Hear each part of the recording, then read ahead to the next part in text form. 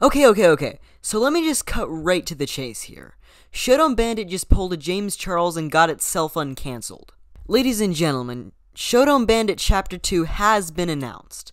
So for the first time in months, we have received news regarding Showdown Bandit, the Meatly side project that turned out to be an absolute train wreck and then was promptly pulled from Steam, and presumably cancelled early last year. All the social media accounts were wiped, and everything associated with the game was shut down.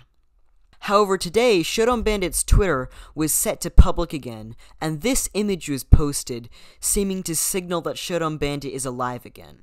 Now, a lot of people have been debating whether this new account is real or not. Whether it's just someone who snagged the Twitter handle when Showdown Bandit's original Twitter was deactivated. Now, we can in fact verify that this account is real, as the people following the original account are still followed to this account, proving that it has been the same account all along. Okay, so now that we are pretty sure that this is in fact the original Showdown Bandit account, let's get into analyzing it. Surprisingly, there is actually quite a bit we can tell from this one image we can be pretty certain that the bandit reaching his hand under the coffin is not actually the same bandit from Chapter 1. Firstly, because we know for a fact that there can be multiple bandits, because we did see other bandits in the early sections of Showdown Bandit. And also because the bandit that we played in Chapter 1 is probably dead.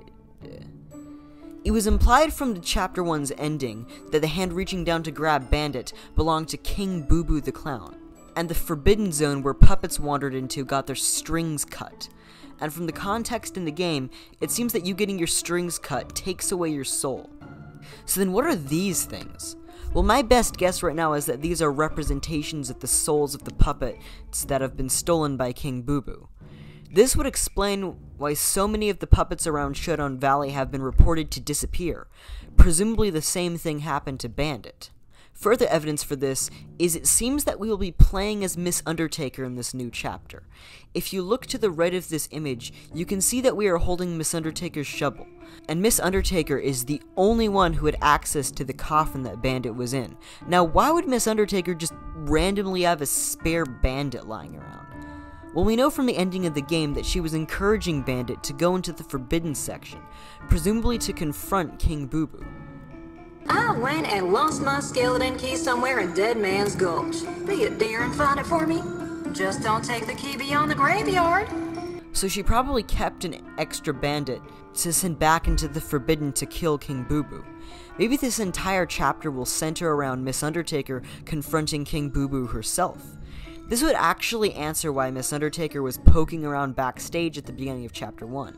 She was looking for candidates to try and kill King Boo Boo. Also, um, just one other thing I thought I should mention. I may have figured out who King Boo Boo is. This may be looking way too deep into things, but the name of the co creator of the imaginary Showdown Bandit show is Buddy Bublick. You take the first two letters of the first and last name of Buddy Bublick, and you get Boo Boo. Again, this may just be a completely random coincidence, but knowing the Meatly, I think I may be onto something. I honestly think a lot of us in the Bendy fandom glazed over Showdown Bandit as just another excuse to make crappy OCs, when in reality there's way deeper lore here and a story that goes a lot further than any of us could have thought. Like, look at all these little letters sprinkled throughout the game. Each one has its own story and adds to the lore, and a lot of them have just been completely brushed off by the community. Okay, so I've mentioned several times that the gameplay in the original Showdown Bandit is a goddamn train wreck. No, no, no, no, no. A train wreck isn't good enough. That game was a plane wreck. So what can the Meatly and his team do to improve Chapter 2? Well, first off, the fact that you can't even sprint was actually the most annoying thing ever and needs to be fixed. Why can't you sprint? It makes no sense. Second, the combat in Showdown Bandit made Minecraft 1.9 look like a masterpiece. The notion of only being able to fight enemies when you're on this stupid little platform is so annoying. It's super cumbersome and honestly not fun at all to play. I get that they immediately wanted to encourage stealth gameplay, but then why did he even make the enemies killable at all?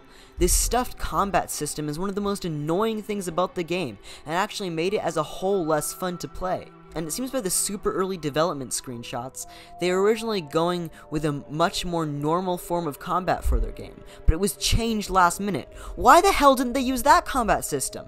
It would have worked so much better. Instead, we got this disaster. It literally makes the game feel less like a game. It feels like a movie that you just WASD through. Oh wait, you don't WASD through it, it's point and click, which again is super annoying considering the type of game that it is. Point and click feels a lot better in games like Minecraft Dungeons, and does not work here at all.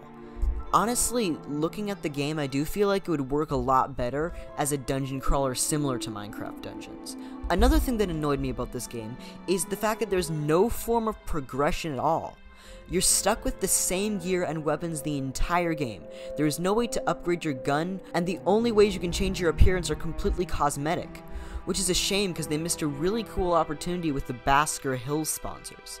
There could have been little Basker Hill shops all over the map selling better weapons, which you could buy with bandit bucks. Yeah, remember this game had a currency that was like literally 100% useless? Even the act of getting your strings fixed is super annoying. You have to go all the way back to the nearest Doc Carver station every time you take damage. I think it would have been a lot better if he sold medkits you could use on the go. Overall, almost everything in Showdown Bandit is tedious, annoying, and boring. If they're serious about episode 2, every single one of the problems that I just mentioned needs to be addressed.